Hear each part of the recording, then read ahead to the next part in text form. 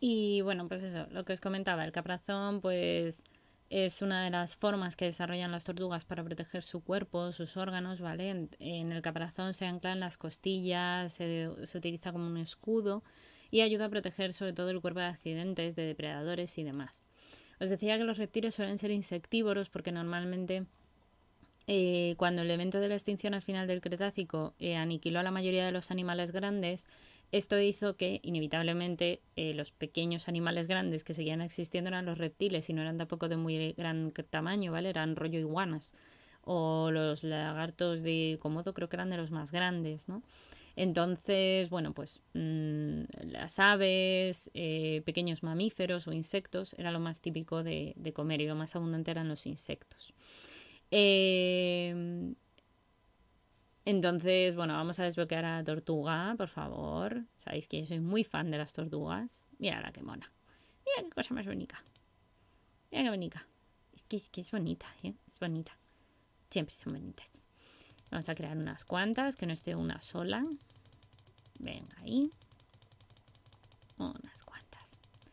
Ok, bueno, pues las tortugas, para situarnos. Las tortugas son eh, originarias del periodo Jurásico Medio, así que vivieron con los dinosaurios, y las tortugas son uno de los grupos más antiguos de reptiles modernos que todavía siguen existiendo y además son conocidas pues eso por su comparación distintivo y por ser de las de los reptiles más primitivos y que llegaron a convivir con los dinosaurios.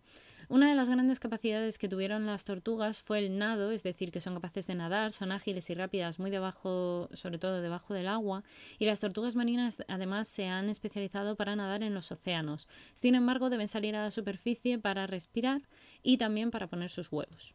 En el caso de las tortugas marinas, sobre todo, se debe decir que no pueden retraer sus cabezas, ¿vale? Al contrario que las terrestres, como la que ponen aquí, veis cómo retrae la cabeza en la animación. En el caso de las tortugas marinas no se puede hacer, ¿vale? No están diseñados así sus cuerpos y eh, las extremidades y, los eh, y demás se pueden esconder un poco dentro del caparazón, pero no del todo. Pero en cualquier caso, lo que sí están es adaptadas a nadar. Si habéis visto cualquier tortuga marina, como las que aparecen en estas imágenes, veis que tienen una forma de aleta muy parecida a la que tendría cualquier otro pez. Y pueden crecer, de hecho, hasta 3 metros de longitud, así que hay que tener mucho respeto por las tortugas. Otra de las características que las ha caracterizado toda la vida a las tortugas es que son conocidas como un animal de ritmo lento y metódicas. En su mayoría son herbívoras y no es necesario que persigan sus alimentos, sobre todo las terrestres, ¿vale? Las que son de agua sí que tienden a ser semicarnívoras o omnívoras, más bien omnívoras porque comen de todo, pero eh, la falta de velocidad siempre la ha hecho susceptible a que se la pudieran comer. Entonces, como eran muy lentas, tuvieron que adaptarse desarrollando un buen caparazón para que el depredador no se las comiese. Por eso también son animales muy huidizos y suelen esconderse con facilidad porque la caja que puede permitir que se, que se protejan es el caparazón. En ella, por ejemplo, las tortugas sobre todo que ya empezaron a estar en la tierra, no las de agua, no las del mar, no las de los océanos y tal, pero las terrestres sí, las terrestres sí que em, pueden retraer su cabeza y sus piernas dentro del caparazón, permitiendo que se protegieran mejor de, de los ataques de las aves y de mamíferos de mayor tamaño que podían intentar cazarlas. Las tortugas eh, conocidas como de caja son aquellas que son pequeños reptiles que viven del agua dulce, igual que estas, por ejemplo, que tienen la capacidad de esconderse, como Leo, que ya lo habéis visto en más de un vídeo, eh, y que a menudo se mantienen como mascotas, ¿vale? En muchos casos. Y como muchas tortugas pueden vivir hasta más de 100 años. Estas son de las que pueden llegar a vivir mucho, mucho tiempo. Em, las mandíbulas fuertes que tienen las tortugas, como decíamos antes, por el pico de tortuga, no porque tengan dientes, pero sí un gran pico con muy fuerte eh, mordición. De hecho, esta que nos ponen aquí es la tortuga mm, caimán o la tortuga lagarto, también creo que es conocida así, que tiene una gran movilidad para tener la mordedura más poderosa y peligrosa que te puedas encontrar en la naturaleza y sobre todo de las tortugas. Y se han conocido casos donde se han cortado dedos humanos y también he de decir que estos reptiles son excelentes cazadores y a veces incluso son capaces de comer pequeñas aves y mamíferos pequeños, ¿vale? Son muy muy agresivas además y muy territoriales. Em, estas son eso, las tortugas caimán, estas que te dicen que hay que tener mucho cuidado con ellas, ¿vale? Eso en a las tortugas, que nos habíamos desbloqueado por ahí abajo eh, esta ramita que nos acercaba por aquí también al Valle Mesozoico, que ahora después iremos. Otro punto importante es el tema de la menstruación. La menstruación es un proceso muy importante en los humanos porque la menstruación, que solo se tiene en el caso del sexo femenino, en la mayoría de los mamíferos eh, existe el proceso de la menstruación como el revestimiento uterino, ¿vale? El útero es eh, la cavidad donde normalmente se alberga el embrión y al, bebé. Eh, entonces, en principio, ahí lo que hay es un montón de células que hacen una capa de células, ¿vale? Protectora que normalmente lo que ocurre es que está preparada para que si se produce la fecundación eh, del espermatozoide y el óvulo, haya un tejido en donde se pueda implantar ese embrión y empiece a crecer.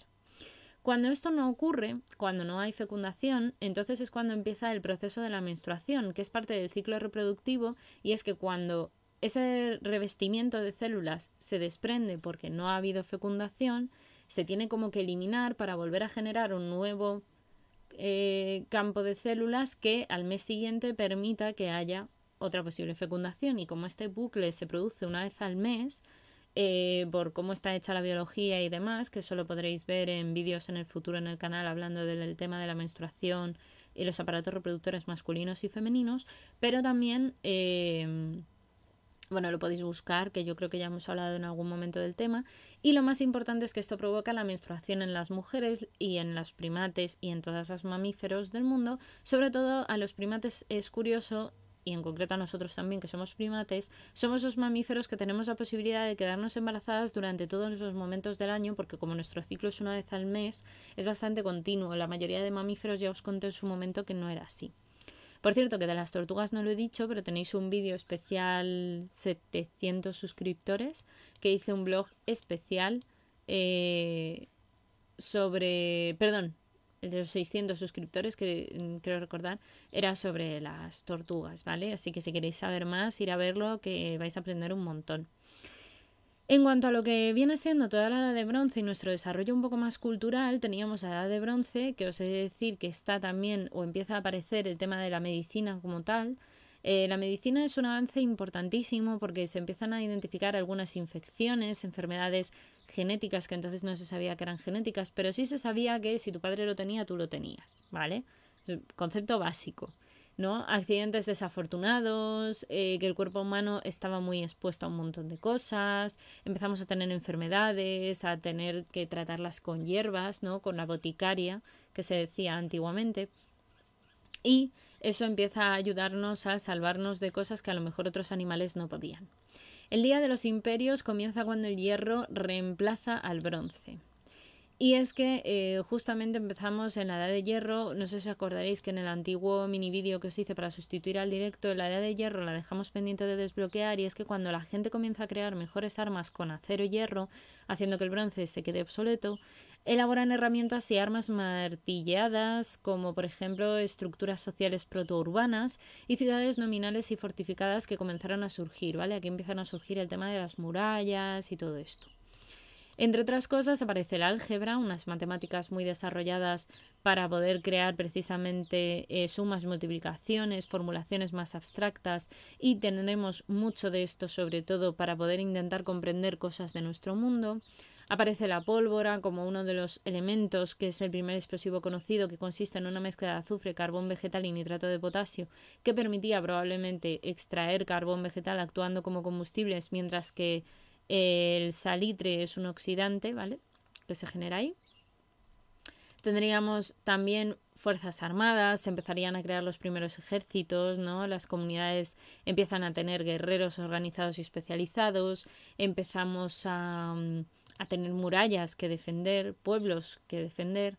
También ocurre con las herramientas de hierro, que son nuestra manera de, forjar y fundir eh, todos los procesos. A su vez también tenemos el interés de usar lentes de aumento cada vez más curvado, como os decía, conjunto con el álgebra, para llegar a ver más allá. Y eso nos lleva al telescopio, que es la primera vez que podemos empezar a ver mucho más lejos. Asimismo llegamos al desarrollo de las gafas, que son lentes montadas en una montadura, como la que llevo yo, sobre los ojos de una persona para la corrección de un problema de visión que ya empezó en aquella época. El gobierno, por ejemplo, las primeras instituciones gubernamentales que aparecen en la época y que son súper importantes para poder tener orden, no en función de un gobierno de impedir que el ciudadano caiga en el error, es la función del ciudadano evitar que el gobierno caiga en el error, ¿no? Esto nos decía el juez Robert Jackson y es verdad. Por otra parte, también aparecen Gracias a la pólvora, mucho tiempo después aparecerán las armas de fuego, ¿vale? El primer explosivo químico conocido que fue la pólvora fue inventado realmente en el siglo IX en China y nos permite tener desde pistolas y pólvora, que es muy malo y se usan en las guerras, hasta fuegos artificiales, que esa es la parte más bonita, ¿no? Eh, aunque no tanto para los perros, así que por favor no tiréis petardos ni fuegos artificiales, no llevéis a los animales, que lo pasan muy mal. En cuanto a la espada de hierro, fue un gran punto porque se deformaban fácilmente estas espadas y eran más fáciles de producir que las de bronce. Además, eh, dieron una escala a gran reproducción, que eso está muy asociado con el tema de los ejércitos y demás. A su vez, gracias a tener un gobierno, a irnos estableciendo y tal, empieza a haber una salubridad que se empieza a cuidar.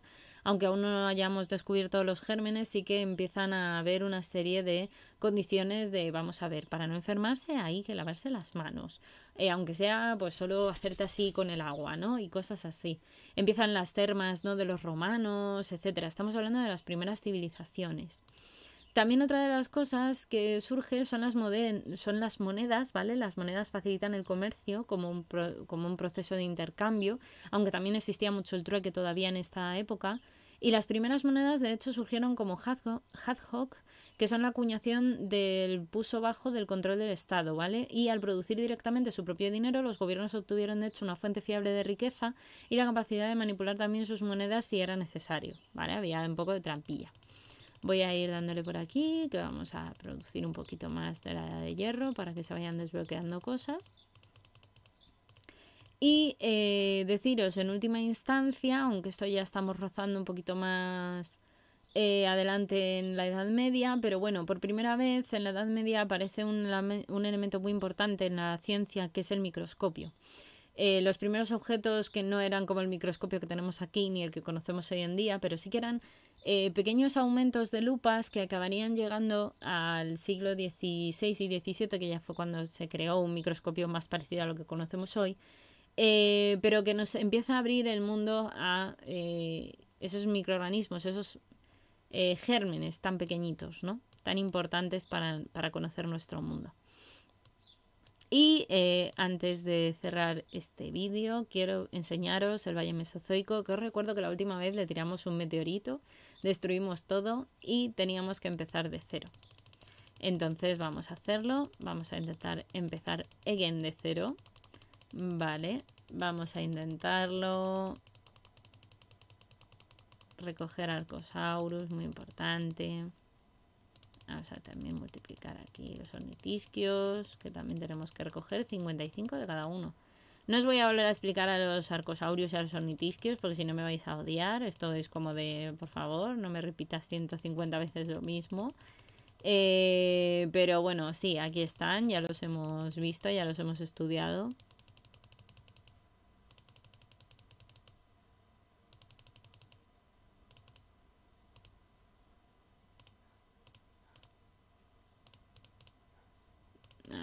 Los estamos multiplicando, ¿vale? A ver si llegamos a los 55. Vamos a intentar llegar a desbloquear al siguiente dinosaurio. O al menos dejarlo pues para que casi casi lo consigamos, ¿vale? Ese es el objetivo un poco. Aunque estoy por dejarlo para un directo real en el que esté Chanchi, la cocina de Sanji, que ya sabéis que siempre nos aporta nueva información muy interesante y muy curiosa. Hasta el Anquilosaurus creo recordar que sí llegamos, así que hasta ahí podemos llegar. Vamos a intentarlo. Uy.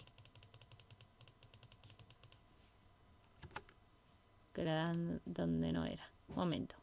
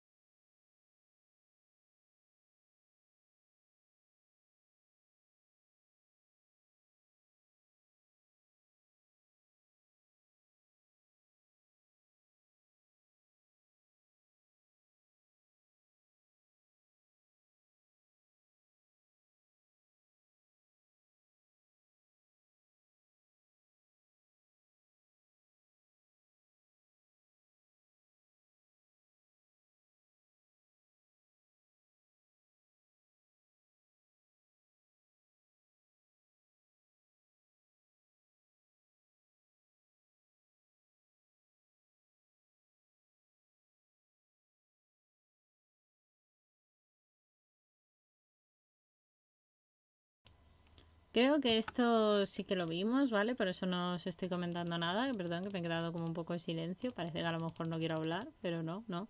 Es que en realidad todo esto ya lo hemos explicado, ¿no? El estegosaurio, sus placas, la importancia que tenían. Todo esto ya creo que lo vimos en su día y, y yo creo que no hace falta más. Eh,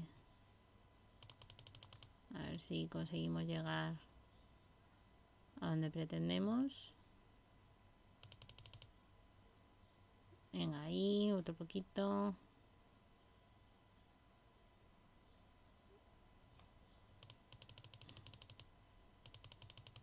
A ver si aquí poniendo unos pocos más llegamos a los 55 de aquí. Vale. Epa. A ver ahí. Vamos a ver a ver si... Vale, y lo que vamos a hacer... Ah, perfecto.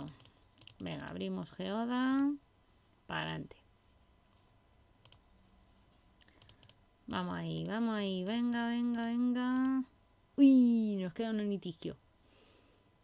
Ah, ¿y este dinosaurios también quieres que recoja? Bueno, pues vamos a ir recogiendo también estos dinosaurios, si no pasa nada. Aquí recogemos de todo y reproducimos de todo, no hay problema. Vamos a darle aquí, a ver si esto nos ayuda.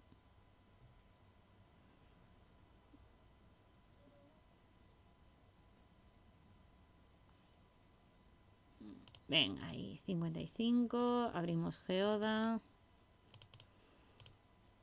Vamos para adelante. Aquí nos piden eh, unos cuantos y aquí también. Entonces, esto lo voy a dejar, ¿vale? Porque como esto va a llevar un rato. Y lo dejamos aquí y así ya os he spoileado un poco lo que viene ahora, pero bueno, no pasa nada. El Triceratops lo, lo veremos más adelante, ¿vale? En la próxima vez eh, lo, lo, veremos, ¿vale? Y lo, lo seguiremos evolucionando, seguiremos desbloqueando cositas, ¿vale? Llegaremos aquí a la Edad Media, Revisaremos a ver si algo más se nos desbloquea por aquí abajo y seguiremos evolucionando en el Valle Mesozoico, ¿vale, chicuelos? Y ya está. Eh, nos vemos próximamente. Chao, chao.